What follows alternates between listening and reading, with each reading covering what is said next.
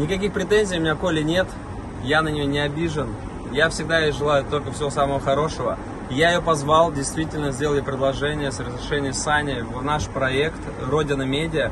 Я хотел, Оля, чтобы ты просто заработала денег на мне.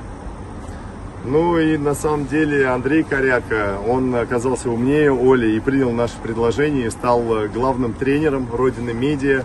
И я думаю, что Оля в ближайшем будущем увидит, как мы будем развиваться и пожалеет о том, что она ошиблась и отказала Родине. Ну а мы идем дальше.